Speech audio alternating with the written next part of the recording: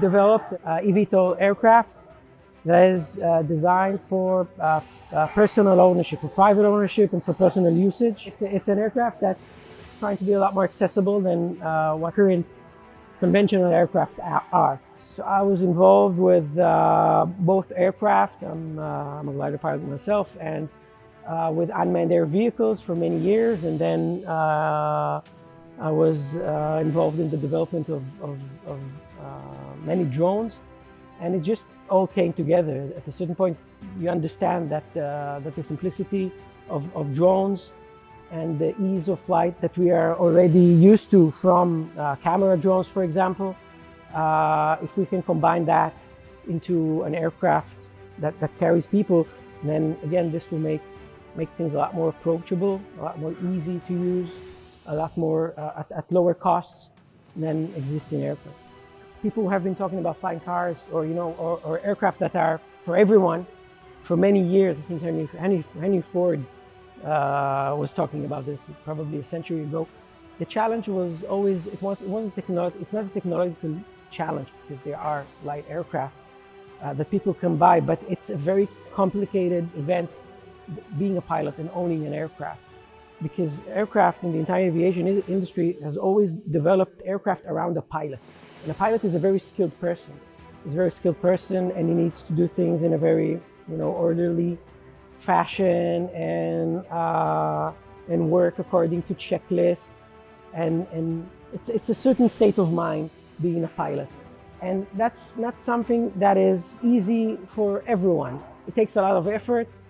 And, and I think that's why we don't all have aircraft. And uh, now there is convergence of, of technologies that uh, allow us to reduce this effort considerably by using a fly-by-wire system on, a, on an aircraft that is uh, taking off and landing uh, vertically. And there's lot, lot, much less maintenance because it's electrical.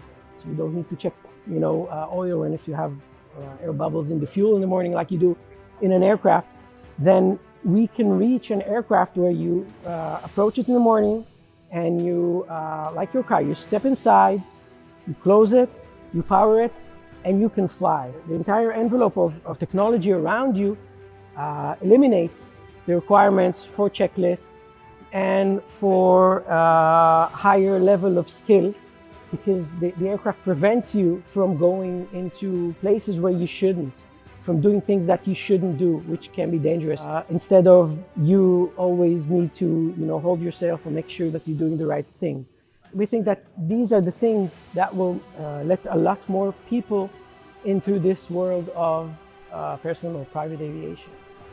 You will need a, a, a pilot license, but it's, uh, we're aiming for a fairly uh, easy level of, uh, of uh, pilot license, some, something that will probably require around 15 hours of, of, of training.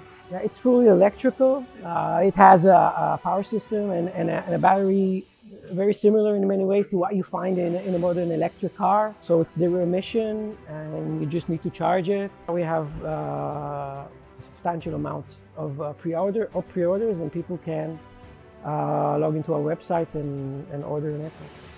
Rani Plaut, CEO of Air. We are here at the Kentucky Derby on the red carpet. We are showing our first model, the, the Air One. This is the debut of the, our eVTOL personal vehicle. Come and I'll show you around. Uh, we have here a full-scale prototype of the unit.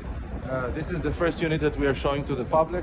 Down at the back we have a simulation tool. People are experiencing. As you can see, it's a very convenient two-seater, fully electric, available for purchasing now, pre-ordering on our website. Thank you.